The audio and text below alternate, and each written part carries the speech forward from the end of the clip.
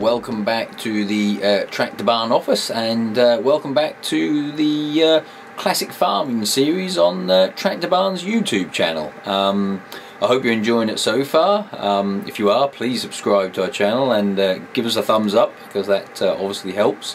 Um, so, here we go. We're uh, still in 1999, May.